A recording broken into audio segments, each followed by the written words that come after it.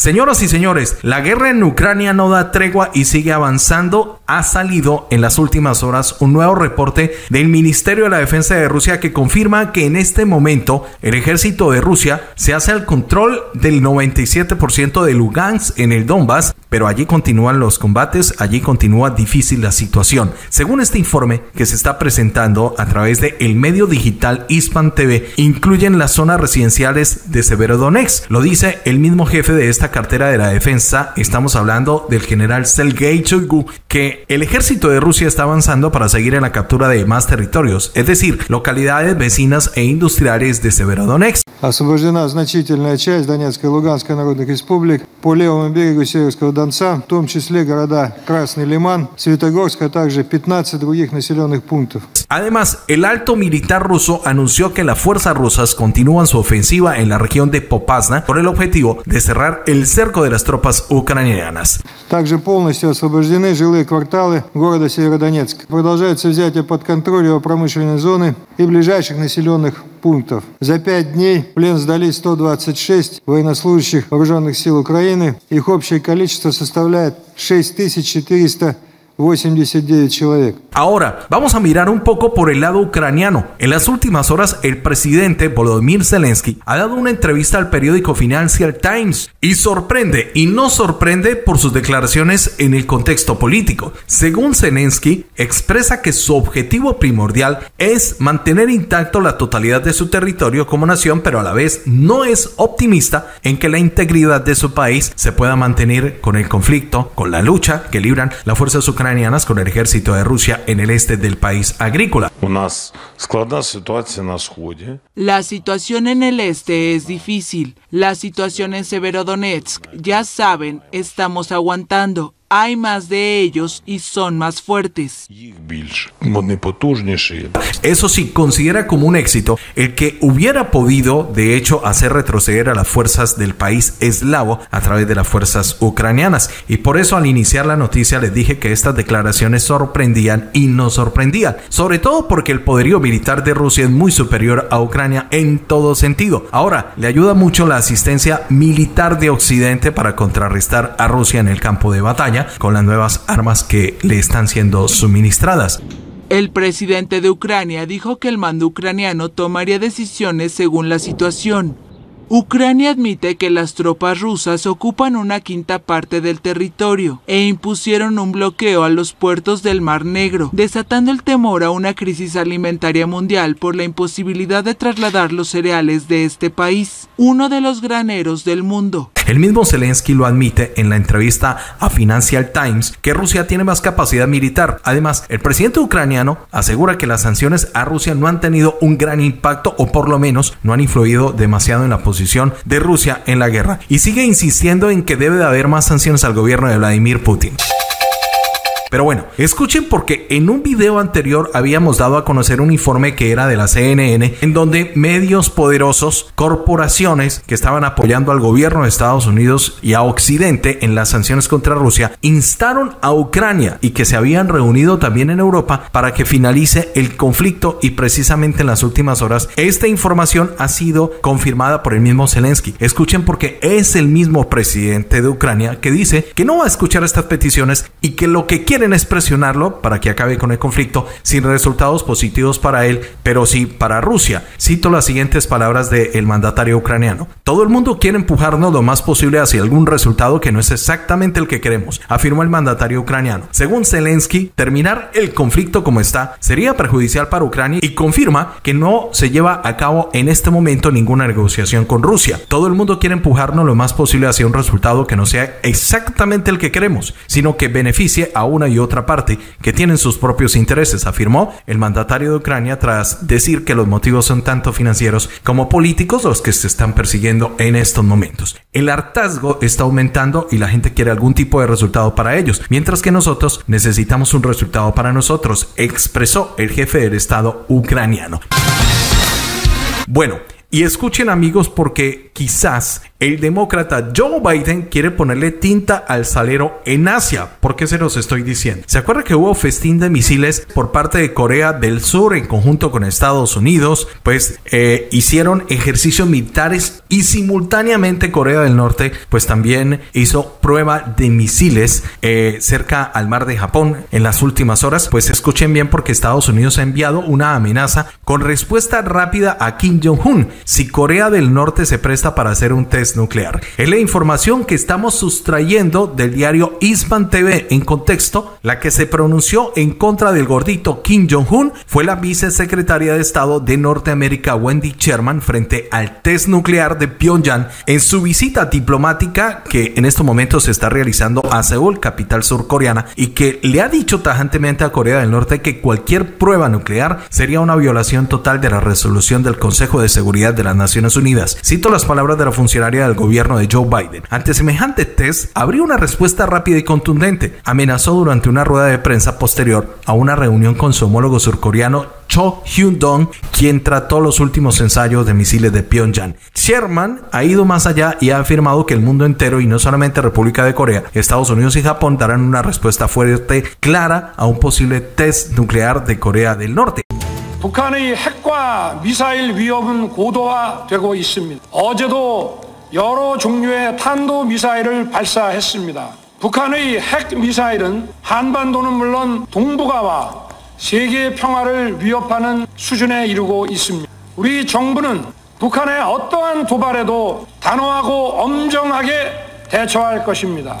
Habría que esperar cuál va a ser esa respuesta inminentemente sería militar? Es la pregunta que nos hacemos. O la respuesta sería contundente y diplomáticamente. Sus afirmaciones se producen en medio del temor de los aliados de Pyongyang, que podría estar preparándose para un nuevo test en el noreste del país. Se trata de la segunda vez que Seúl y Washington responden de manera a un ensayo de proyectiles norcoreano desde que llegó al poder el presidente surcoreano John Suk Yeol, quien ha prometido endurecer las políticas ante su vecino del norte. Un dato, ¿sabían ustedes que Corea del Norte y Corea del Sur tienen una guerra declarada desde hace mucho rato? Se da desde hace más de 50 años el conflicto entre las dos Coreas, que es un conflicto basado en la división de Corea entre Corea del Norte y Corea del Sur, que afirman ser el único gobierno y estado legítimo de toda Corea durante la Guerra Fría. Lo cierto es que con estos entrenamientos hacemos la salvedad que fue Corea del Sur y Estados Unidos quienes lanzaron hasta 8 misiles en el entrenamiento que hicieron hace pocas horas y luego fue Kim Jong-un que dio la orden de lanzar los 6 misiles para hacer la fiesta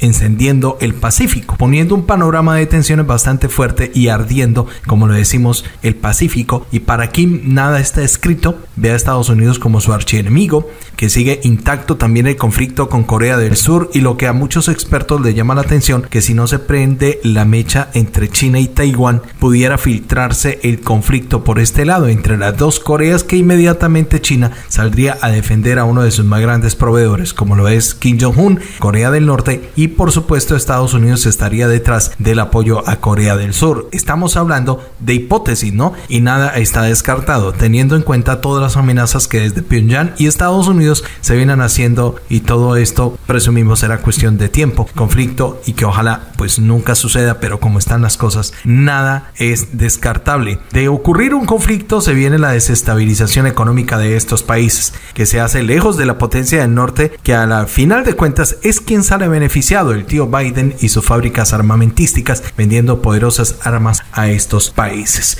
Bueno, les tengo otro dato adicional, muchísima atención porque medios internacionales dan cuenta que Biden podría declarar una emergencia ante una posible escasez de electricidad en los Estados Unidos. Habrían factores que amenazan la capacidad de su país para proporcionar energía y satisfacer la demanda esperada de los clientes. El presidente Joe Biden ha declarado una emergencia debido a la posible escasez de electricidad en el país norteamericano según un comunicado que fue publicado este lunes en la Casa Blanca y cito las siguientes palabras. Múltiples factores amenazan la capacidad de Estados Unidos para proporcionar suficiente generación de electricidad para satisfacer la demanda esperada de los clientes, resta el texto, tras detallar que entre ellos se encuentra las interrupciones en los mercados energéticos causadas por la actual situación en Ucrania y los fenómenos meteorológicos extremos exacerbados por el cambio climático. También indica que para garantizar los recursos eléctricos suficientes, las empresas de servicios públicos y los operadores de la red deben de participar en una planificación anticipada para construir nuevas capacidades para responder a la ciudadanía. Biden en contexto ha concedido autoridad nacional a la secretaria de Comercio de Estados Unidos Gina Raimondo para tomar medidas que considere apropiadas en el marco de la emergencia que ha declarado y estas medidas podrían permitir por un tiempo limitado la importación libre del cobro de aranceles de ciertas células y módulos solares exportados de Camboya, Malasia, Tailandia y Vietnam y que no estén sujetos a órdenes. Además, durante el transcurso de la emergencia se podrá prorrogar de manera temporal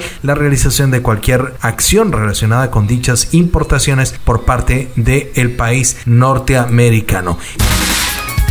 muchísima atención porque esta es otra información importantísima que les estamos trayendo a esta hora. Bloomberg dice que hay división en Estados Unidos por las sanciones a Rusia. Las sanciones contra Rusia promovidas desde Norteamérica están comenzando a generar fracciones dentro de la administración del presidente Joe Biden debido a la inestabilidad económica que se puede registrar a escala global, es lo que está diciendo Bloomberg en un informe del 3 de junio. De acuerdo con una nota publicada por el diario norteamericano, el equipo de Biden estuvo al principio de acuerdo con las sanciones contra Rusia tras el inicio de las operaciones especiales sobre Kiev. No obstante, en la actualidad, el debate se centra en las sanciones que no han afectado ni a Rusia ni al presidente Vladimir Putin, quien mantiene la operación militar, sobre todo en el este de Ucrania. En este informe dice que funcionarios del Departamento de Estado y de la Casa Blanca abogan por medidas más estrictas, mientras que otro grupo, muchos en el Departamento del Tesoro de Janet Yellen se preocupan por nuevas tensiones en una economía global que ya sufre problemas en la cadena de suministro,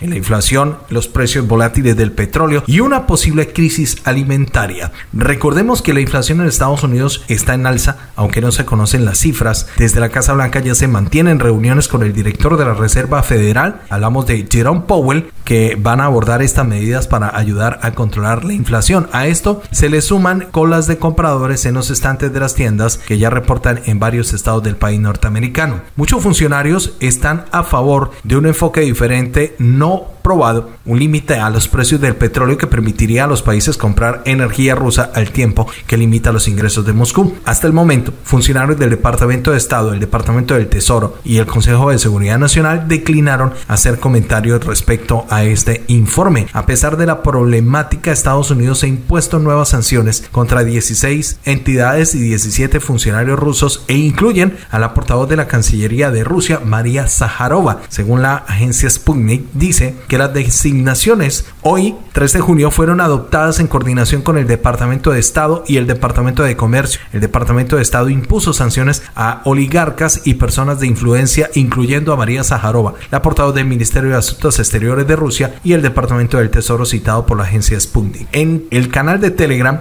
la funcionaria rusa también dijo, no tengo cuentas en el extranjero ni nada parecido, tampoco bienes inmuebles, escribió la funcionaria rusa. De igual forma, el Departamento de Estados Unidos informó que sancionó a siete buques rusos, entre ellos dos yates presuntamente vinculados al presidente de Rusia, Vladimir Putin, y tres aviones.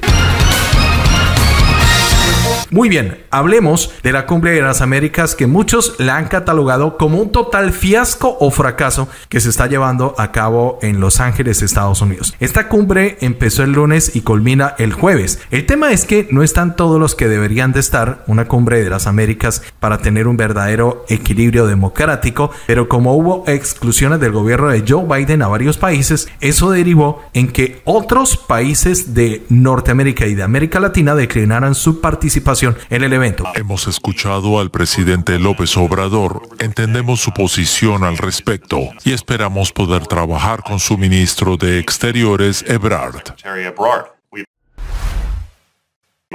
También hemos escuchado las perspectivas de otros países vecinos. Nosotros reconocemos y respetamos la postura de nuestros aliados de apoyar al diálogo inclusivo. También queremos insistir en que sí asistirán representantes no gubernamentales de Cuba, Venezuela y Nicaragua. Por ejemplo, uno de los que increpó y retó a Biden a que todos los presidentes sin exclusión estuvieran presentes fue el presidente azteca. Estamos hablando de Andrés Manuel López Obrador de México y así lo confirmó este lunes, que no irá a la cumbre de las Américas por el hecho de que no fue invitada al evento Cuba, Nicaragua y Venezuela. A la cumbre. Va en mi representación y en la del gobierno Marcelo Ebrat. Y no voy a la cumbre porque no se invita a todos los países de América que dejó en claro que en su reemplazo iría el secretario de Relaciones Exteriores, Marcelo Ebrard. Y esta ausencia se suma a la del presidente de El Salvador, Nayib Bukele, que por otras razones no asistirá al evento. Bolivia y Honduras se sumaron al boicot contra el evento en apoyo a Venezuela, Nicaragua y Cuba por haber sido excluidos, por haber sido vetados de la Cumbre de las Américas. Guatemala tampoco asistirá. Escuchen bien porque estas ausencias son delicadas, sobre todo para el objetivo que persigue este evento, tan importante como lo es conseguir un gran pacto migratorio. En redes se escuchan este tipo de comentarios respecto a las ausencias de los mandatarios en la cumbre de las Américas. Mi camisa abogando por una reforma migratoria. ¿Cómo es posible que va a haber una cumbre donde no participan los presidentes de los países más importantes de la región en términos de inmigración, hablando de México y Centroamérica, donde la mayoría de las eh, personas que inmigran aquí a Estados Unidos son de ahí, pero no van a participar, reitero, no viene el presidente de México. Recordemos que la vocera de la Casa Blanca, Karine Jean-Pierre, llamó abiertamente dictadores a los jefes de Estado de Venezuela, Cuba y Nicaragua, países que fueron excluidos por Joe Biden de la Cumbre de las Américas. La principal posición del presidente es que los dictadores no deben ser invitados, lo cual es la razón. El presidente Biden y la primera dama esperan dar la bienvenida al presidente Obrador y a la primera dama de México a Washington en julio para una visita bilateral. En esa reunión, el presidente Biden y el presidente Obrador tendrán la oportunidad de llevar a cabo los trabajos de la cumbre.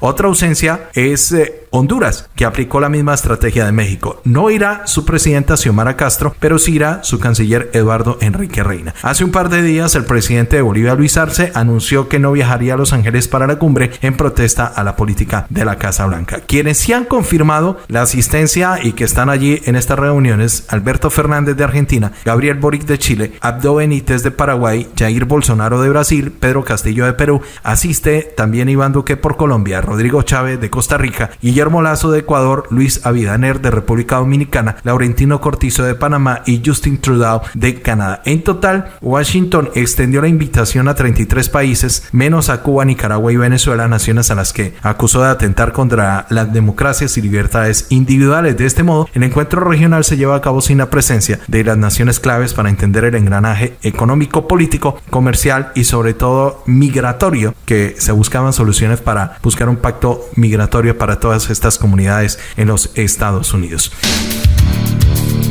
En las afueras del sitio donde se realiza la cumbre han habido eh, varias personas de diferentes países que han manifestado sus preocupaciones sobre lo que puede pasar con el pacto migratorio, que no se le ve un buen panorama para ellos por falta de los países, la ausencia de países importantísimos como México y de Centroamérica. China lanza una nueva amenaza, pero esta vez no a Estados Unidos, sino a Australia, que dice China está provocando al dragón rojo en las últimas horas. Hispan TV lo titula de la siguiente manera: China avisa a Australia de consecuencias por sus provocaciones, como el reciente paso de unas aeronaves en el mar de China Meridional. Estamos hablando que Tanque Fei es el portavoz del Ministerio Chino de la Defensa, aseguró este martes que el pasado 26 de mayo un avión P-8 de Australia se aproximó a las disputadas islas del Paracelso disputadas por Pekín y ciertos países de la región. Cito las palabras del funcionario. Instamos a la parte australiana que detenga de inmediato estos actos peligrosos y provocativos, restrinja estrictamente las operaciones de sus fuerzas navales y aéreas o asuma todas las graves consecuencias derivadas de ello, enfatizó el vocero. Conforme lo está explicando el funcionario Tan, el ejército chino, tras identificar y verificar el avión australiano que amenazó gravemente la soberanía y la seguridad del gigante asiático, lanzó advertencias